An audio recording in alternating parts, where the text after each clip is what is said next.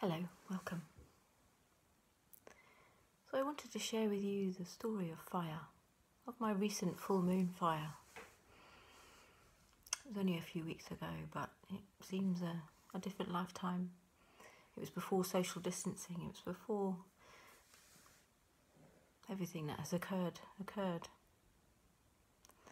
So, I'm here in Jersey and we're meeting down at the beach to do the full moon fire at high tide on a corner of the beach that no matter how, how high the tide comes is always clear and, and available for our fire pit. So we meet down at the beach, down at the car park where we meet, and the wind is howling and the tide is high. It's higher than I've ever seen it. It's so high it's come up the slipway and it makes it impossible for us to put our fire where we always put it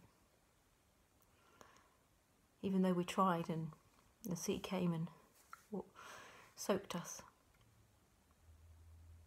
So, not to be deterred, we decided we'd take the fire onto the dunes, onto the sand dunes that, that line the sea at this place. And somebody knew a sheltered spot because it was howling with wind and rain. The tide was high, the moon was full, even though we couldn't see her we found a spot and began to make preparation for building the fire together as a group. And what happened then was chaos. We are a group of people that have often come to fire together.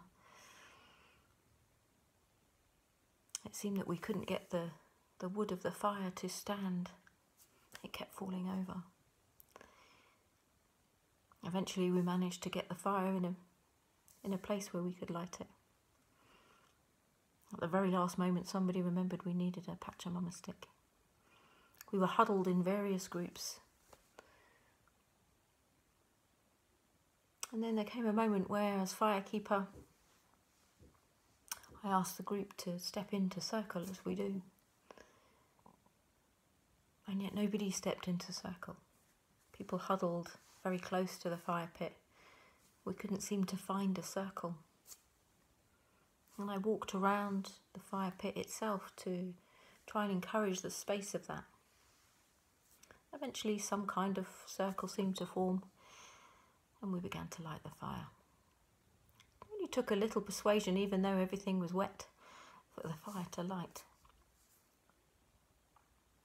And we stood back in this strange circle that wasn't really a circle and began to sing and to rattle.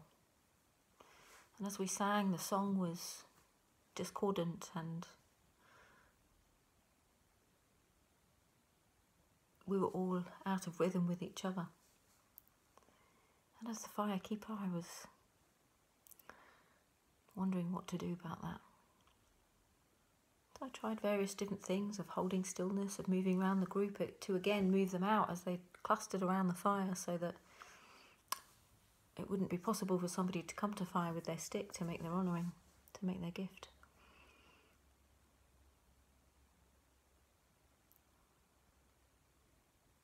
So eventually, we all managed to do to blow into our sticks and to come to fire and to place what we were let of go, letting go of onto the fire itself.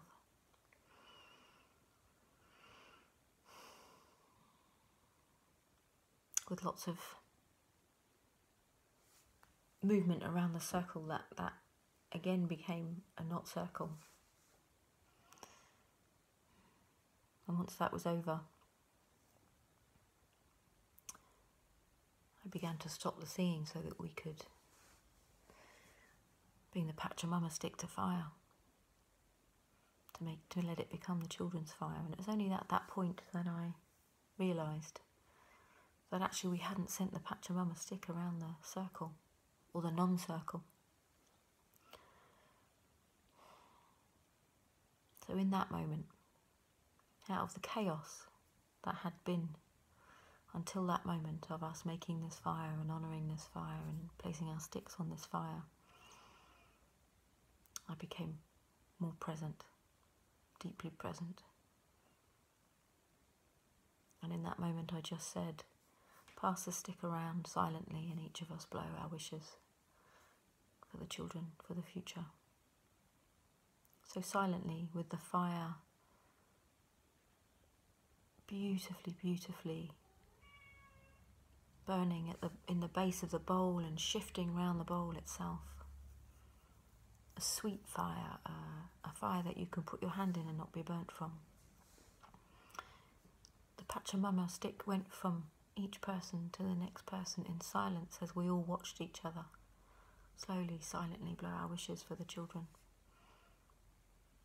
I've never been present at a fire where there has been complete silence and complete presence from everybody present as each person blew their wishes in for the future, for the children.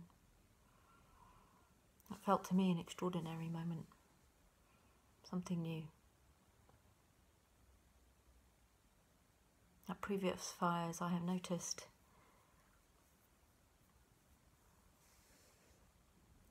the fire almost going out when we have placed the Pachamama stick on it and that many times we have had to come to blow to reignite the fire.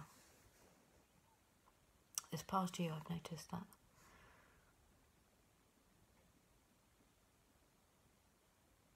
And then two of the group came to fire and placed the Pachamama stick on the fire, which was taken and engulfed and sweetly burnt quickly. And all this time, the embers of the fire had been flowing out of the bowl as it just came very low in the bowl and, and, and flew out. And they began to make a, a pathway on the sand dunes. And each and every one of them flew to the north. So there was like a golden pathway to the north, to the place of possibility. And by the time we closed directions, there was very little of the fire left in the bowl. It had all flown as golden flecks to the north, to Serakinti, to the place of possibility. So, in this wild, chaotic, wet, high tide, full moon, I learnt the value of presence. I learnt the value of silence. I learnt the value of a community coming together with one purpose,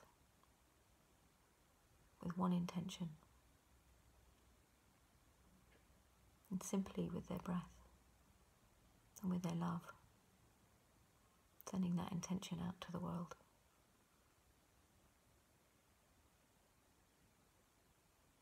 So enjoy your fires however you have them. It may be at the moment you cannot, cannot have fires with others. Or maybe that you are indoors and your fire is different to how you've known it to be. I would say embrace that difference, notice. Notice no matter how chaotic it gets, the moment, the moment when you are called to stillness, so that you can dream what needs to be dreamed for the future, for the children, for all of us.